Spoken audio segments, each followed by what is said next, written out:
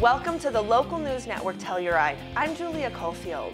In the headlines, firefighters have been busy this week handling a series of small fires in San Miguel County outside of Norwood and Egnar.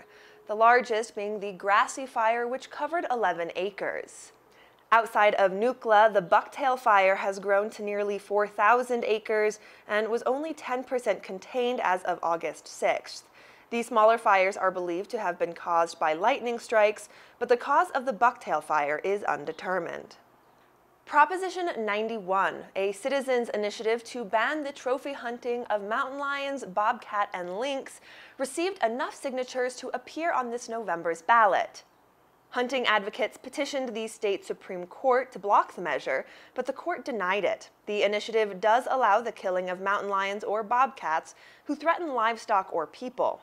The only state in the U.S. that currently bans mountain lion hunting is California.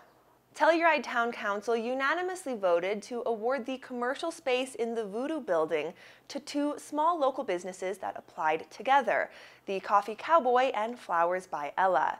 The town will also be conducting a lottery for Voodoo rental housing. The application period closes on August 16th. In other news, you might have heard about Suzy, the small, sweet rescue pup that disappeared from Trout Lake on July 4th, where her family has a cabin. They searched endlessly, hung up posters, called all the local shelters, and had almost given up hope when one month later, to the day on August 4th, Suzy showed up again at the cabin. Her family has no idea where she spent the month, but she came back in perfect health and was even freshly groomed. Her family, Suzy's mom, dad, three kids, and doggy brother Rudy, say they are ecstatic to have her back home and grateful for her miraculous return.